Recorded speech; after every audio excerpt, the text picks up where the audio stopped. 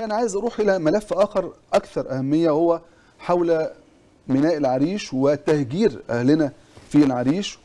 يعني طبعا إحدى الأخوات الفضليات في العريش بعت لي النهارده فيديو عن المظاهرات للناس المهجرين هناك وهم بيقولوا عواد باع أرضه على طوله وعرضه باع سينا. وحقيقة شيء مد- مدهش إن الناس هناك أصبح في عقيدتهم الآن أهالي سينا. إن سينا بتنباع. رفح والشيخ الزويد والعريش بتنباع. واتباعت للأسف بثمن بخس. وإنهم بيهجروا قسرا من أرضهم وأوطانهم. خلونا حضراتكم نشوف يعني لقطة من لقطات الدفاع عن البيوت المقرر إزالتها من أهالي العريش اللي إحنا مهتمين جدا ننقل أوجاعهم وألامهم اليومية. وهم بيواجهوا مصير مجهول. بتهجيرهم من بيوتهم من منازلهم من مواطن استقرارهم. علشان إيه؟ علشان أمن المواطن الإسرائيلي وعلشان الباشا عايز كده. علم الإمارات على سينا. علقوا إيه؟ علقوا اعلام الإمارات. معلقينها ليه؟ يا بتوع الإمارات. البلد اتباعت آه عواد باع ارضه عواد باع أرضه. شوفوا طوله وعرضه. هجر أهالينا. عواد باع سينا هجر أهالينا. عواد باع سينا هجر أهالينا. عواد باع سينا 11 6 2000 23 انت منين حضرتك؟ أنا هو في سينا. من سكان حي عشان بيقولوا فيديوهات قديمة. جايين يهدوا النصابين بيوت. أهو. بعد ما تهدوا بيوت الغلابة قولوا إحنا كده فزنا وانتصرنا. انتصر على علم الإمارات. مش اليهود رفعتوا علم الإمارات على بلدنا.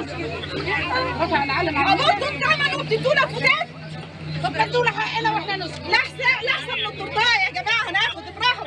افرحوا. سقفوا. قولوا كسبنا وانتوا قولوا فزنا خدمنا بيوت الناس واخدنا الثمن ومش هنديهم ولا حاجة هنرميهم في الشارع طب ما للغندور ادي الناس حقها وهي ما تطلعلكش خالص. خالص. والله لو أنتوا واقفين في وش ناس ما بتخاف عواد باع سينا هجر أراضينا. يا سلام. هينكتب لسه كتير في التاريخ عن الخيانات الوطنية هينكتب كتير قوي والله في المرحلة دي. شفت الراجل بتاع مباحث أبو كسكت حمراء؟ كلهم واقفين. يا أحمد ما هم برضه شنبة ما شاء الله وكرشه قد سينا تقريبا. لا هم يعني بقى مش عايز طبعا إن أنا أنتقد آه، يعني رجال المباحث لا مش عايز أنتقد أشكالهم ولا أشخاصهم إنما هو هو ده ده ده كرش راجل رياضي أو أو بتاع شرطة أصلا؟ ده يا أحمد بغض النظر ما والله ده إيه فين؟ ما نعرفش في أي ده جهاز. راجل مباحث طبعا. جهاز في المحليات. لا، ده مباحث. جهاز في المحافظة جهاز ده حاجة زي كده.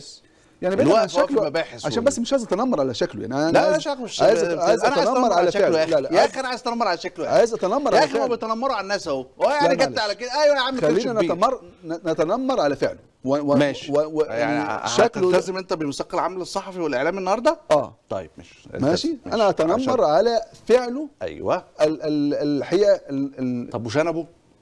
ما إحنا قلنا بقى مش هنتكلم على شنبه وعلى جسمه ولا كرشه. انت اتفضل الميكروفون معاك اتفضل قول انت عايز تقول إيه. مش عايز أقول حاجة خلاص اتفضل كمل. لما خلاص أنا قلت بس أنا شفت الآن هذا الفيديو اللي جاني فيديوهات كتيرة جدا من أهلنا في العريش عن بيع. انت بتبيع. بيع يا عواد عواد باع أرضه على طوله وعرضه. عواد باع سينا هجر أراضينا هجر أهالينا.